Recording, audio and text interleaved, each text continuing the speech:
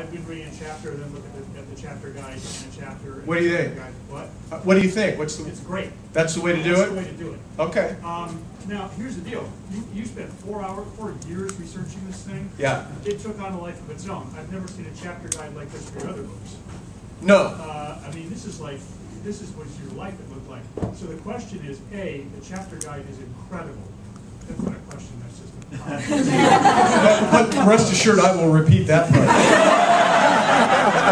Um, But are you now, I mean, has art run its course for you? or Are we gonna see more in this general area? Um, he said the chapter guide is incredible.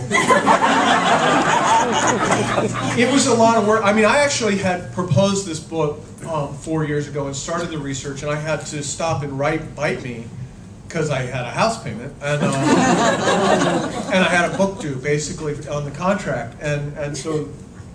You know, this started four years ago, but I wasn't, you know, nonstop. But, but I didn't have to write research bite me because it's set in, you know, my neighborhood, and um, um, and I had already done the, the hard research for that book with Abby Normal, the goth girl, for the You Suck. So anyway, um, I don't think art has run its course for me. I mean, I'm not tired of looking at it. I'm not tired of.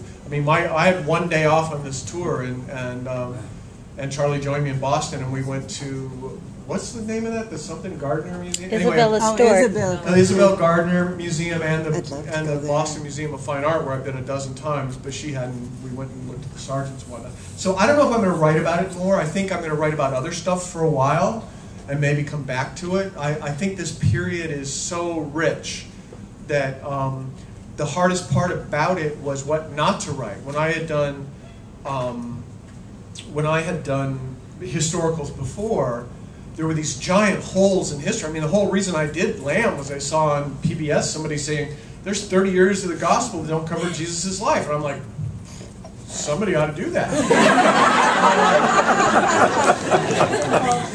and and when I did uh, when I did Fool, you know, which is based on King Lear, it turns out that Shakespeare was wildly wrong about you know King Lear lived in 400 BC, so there were no castles or earls or duke. It was like mud huts and a stick.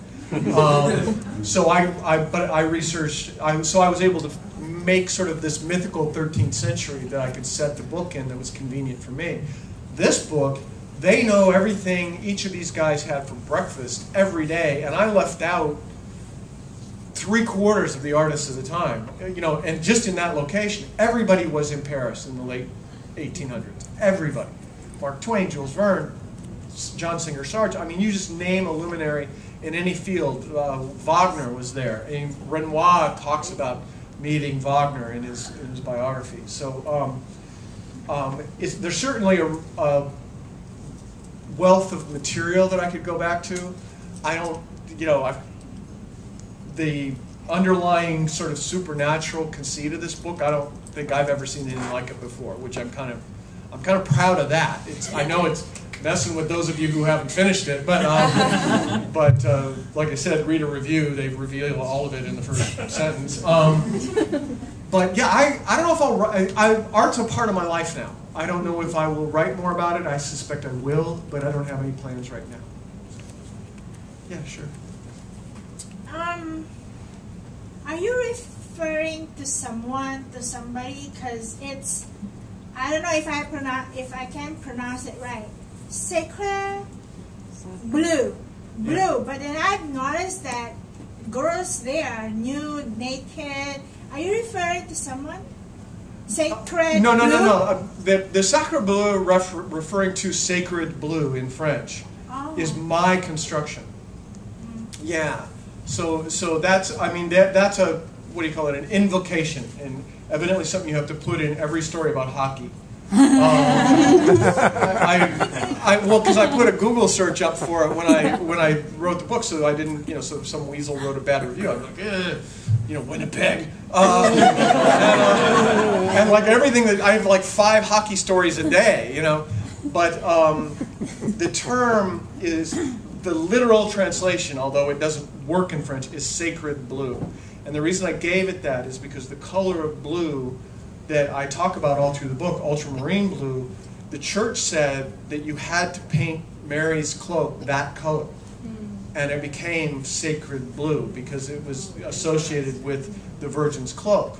So it has nothing to do with nudes or anything. It has to do with the fact that it was associated in windows and paintings and icons by the church with with uh, the Virgin Mary's cloak. So, you know, that'll be on the test. Yeah, sure. Alright, um, this isn't so much a question, well, it kind of is, but it's a leading question. Um, so Lamb is one of my favorite books of all. And I'm wondering why you think Biff is such an idiot. Because I don't. I think Biff is actually pretty smart and canny and stuff. So why always why is he mean himself? I mean, he got, he goes ahead all the time. You know, that's what Biff means.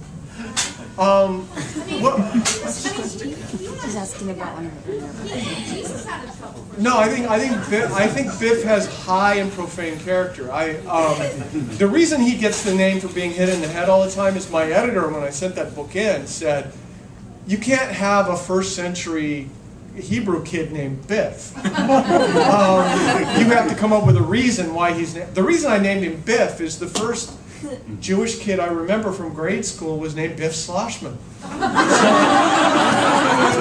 So whenever I would think of a little Jewish kid, it was oh yeah, that's Biff. That's they're all called that, you know. So, but then when I sent the book in, my editor went, "You can't have this kid called Biff." And I was like, "What if I come up with a reason? Because now he's Biff. It's clearly his personality, you know." And um, and so I had I came up with that whole in, in Aramaic it means a slap upside the head. But I, I think no, I, I think Biff is a great character. I think he, he's ex- astoundingly brave and loyal and lovable and yeah. always talk about what an idiot he is. I am. No, in the book, like all the other characters are like, oh, he's such an idiot. He's so oh, dense. Yeah. Well, well, that's basically you know Joshua's saying that about all the apostles. And if you read the Gospels, they're idiots. I mean, he's like, I mean, there are whole sections where he gives them about 17, you know, parables in a row, and they're like, I don't get it. I don't even make that part up. I mean, they really are, they really are a bunch of nitwits. And, um, and that's why, and that's why Ma- the Magdalene says, you know, you don't get it. It's not about intelligence. Faith is an act of imagination Right. you know and so, so but but the fact is i lived in the gospels for i don't know two and a half three years you know to write that book and it's like it was like when i did king lear it's like i really hated king lear. Really the, the character king lear it's like you whiner. Um, and then when i was doing the thing about about you know lamb it was like the apostles are like you are really i mean I even had, um, I, th- I think Josh walks away after like a whole string of parables and goes, These are the dumbest sons of bitches I've ever met in my life. that's simply because if you read the Gospels, that's what's going on. Is they just like, ah, mustard seed? what? Um, so, no, I wasn't being mean to Biff. Because I, yeah, I just felt like, It's okay. It'll be all right. No, it'll be okay. It's like, we all like Biff. Just, we like him just the way he is. okay. I feel like Mr. Rogers. Did you have a favorite character to write in Sacré Bleu? In this book, Yeah. yeah, I loved writing. Um, I loved writing Toulouse-Lautrec in this book. It was so great to, Yeah. you know, I knew that there's certain characters when I'm writing a book that I know when they come on the page, it's going to be funny. Yeah. You know, and, and most of the time when he would show up, it was like, okay, this is going to be funny. Um, I like, I really like writing the character Juliet uh, later in the book because she gets as you who haven't read it, she gets wilder and wilder as it goes on, and and um, and when she gets really hammered, I think she's hilarious. Um, but but definitely, Henri Toulouse-Lautrec was. Uh, I've always loved his art. Um, I was sort of relieved. A a lot of us of my generation know, sort of, I think, formed our opinion of Toulouse-Lautrec from the 1954 John Huston movie, where he's Jose Ferrer walks around on his knees for two hours and being depressed. And when you read, you know, the accounts of Toulouse-Lautrec and see the pictures of Toulouse-Lautrec, that's not who he was. He was a bon vivant. He was a wild man, and he's, I think, much closer to what I portray in the book than he than in the Huston film. Um, and so that was kind of a relief for me, and, and he was great fun to write. Definitely my favorite. So you